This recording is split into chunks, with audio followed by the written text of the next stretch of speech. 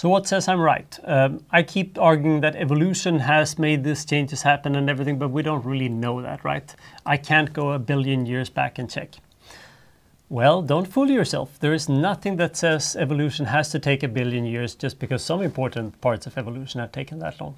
There was a really cool paper published about a decade ago about tom cod. So tom cod is an Atlantic type of cod, um, in particular abundant outside the uh, North US coast northeastern US coast. Uh, it's sadly also an animal that's very sensitive to a lot of poisons such as PCBs.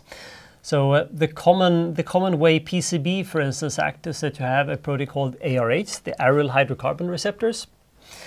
These receptors, the green one here, is they sadly bind the PCB. When they bound the PCB, they tend to go into the nucleus of the cell and sadly activate incorrect genes. Um, I'm not even sure why that happens, but the point is that this now leads to errors in the proteins we're expressing, possible errors in the duplication of the genomes in the cell and everything, and eventually you start having disease and the animals might even die. Um, so they will not be able to duplicate their genes to as many generations if they're subject to PCB.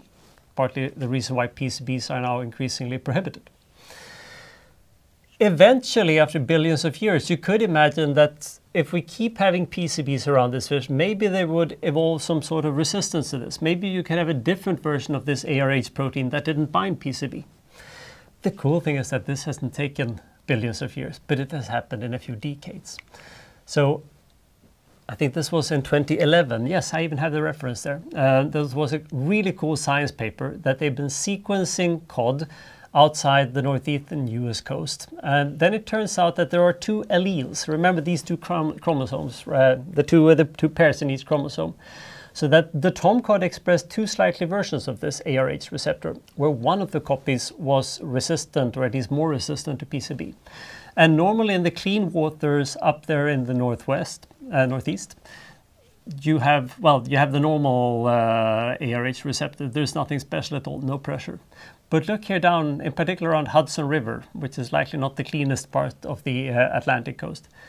The second allele has taken over completely. So that the tomcod has evolved resistant to PCB in a few decades, more or less. We haven't used PCB more since the mid 20th century.